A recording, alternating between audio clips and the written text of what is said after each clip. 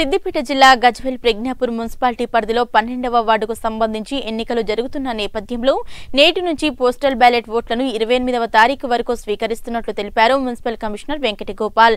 రాష్ట్ర ఎన్నికల సంఘం ఆదేశాల ప్రకారం కోవిడ్ నిబంధనలకు అనుగుణంగా ప్రతి ఒక్కరూ మాస్క్ ధరించి ఓటు వేయడానికి రావాలని అత్యవసర సమయాల్లో మాత్రమే బయటకు రావాలని మున్సిపల్ కమిషనర్ వెంకట గోపాల్ కోరారు. పురపాలక సంఘం పరిధిలోని పన్నెండవ వారికి సంబంధించిన ఎన్నికల ప్రక్రియ చాలా సజావుగా నడుస్తున్నది. రాష్ట్ర ఎన్నికల సంఘం వారి ఆదేశాల మేరకు కోవిడ్ నైన్టీన్ ప్రబలుతున్నందున ప్రజలందరూ కూడా అప్రమత్తంగా ఉండి ఓటు హక్కును వినియోగించుకోవాలని విధిగా అందరూ మాస్క్ ధరించాలని తెలియపరచడం జరుగుతుంది.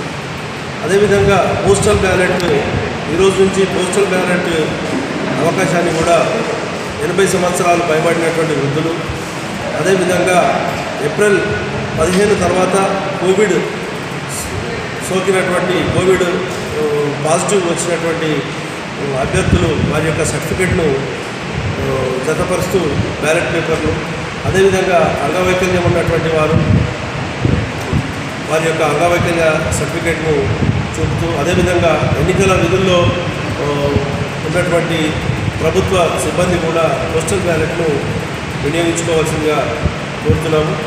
వారందరూ కూడా గజ్వెల్ మున్సిపాలిటీ పరిధిలోని ఐఓసి ఏ బ్లాక్ కార్యాలయంలో సంబంధిత రిటర్నింగ్ ఆఫీసర్ వద్ద పోస్టల్ బ్యాలెట్కి సంబంధించినటువంటి అప్లికేషన్ తీసుకొని ఈ నెల ఇరవై ఎనిమిది నాలుగు రెండు వేల ఇరవై ఒకటి లోపల నేరుగా కానీ లేదా పోస్టు ద్వారా కానీ సమర్పించినట్లయితే వారికి పోస్టల్ బ్యాలెట్ కూడా జారీ చేయబడుతుందని తెలియపరుస్తున్నాము.